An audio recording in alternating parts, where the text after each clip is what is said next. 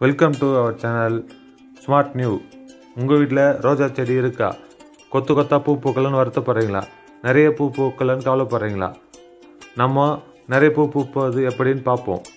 முதல்ல காலை மாலை இருவேளையும் தண்ணி ஊற்றுவது அவசியம். ரோஜா செடி வளரும் தொட்டியில் மற்ற செடிகள் வளராமல் பார்த்து கொள்ள வேண்டும்.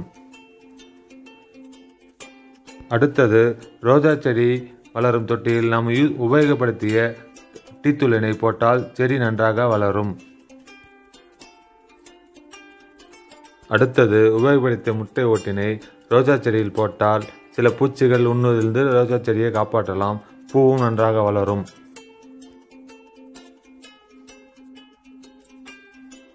அடுத்தது ரொம்ப முக்கியமான டிப்ஸ் கவனமாக பாருங்கள் உங்கள் வீட்டு ரோஜா செடிகளுக்கு ஒரு நாள் முழுவதும் தண்ணீர் ஊற்றாமல் விட வேண்டும்.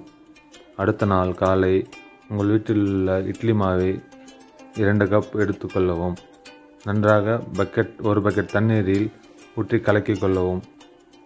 அந்த கலக்கிய தண்ணீரை மாதம் இருமுறை உங்கள் செடிகளுக்கு ஊற்றி வந்தால் செடி நன்றாக பூக்க ஆரம்பித்துவிடும். காரணம் மாவில் உள்ள பாக்டீரியா பூக்கள் பூக்க நன்றாக உதவுகிறது. முக்கிய குறிப்பு மாவு நன்றாக புளித்திருக்க வேண்டும். இந்த வீடியோ பிடித்திருந்தால் ஷேர் பண்ணுங்கள் கமெண்ட் பண்ணுங்கள் சப்ஸ்கிரைப் பண்ணுங்கள்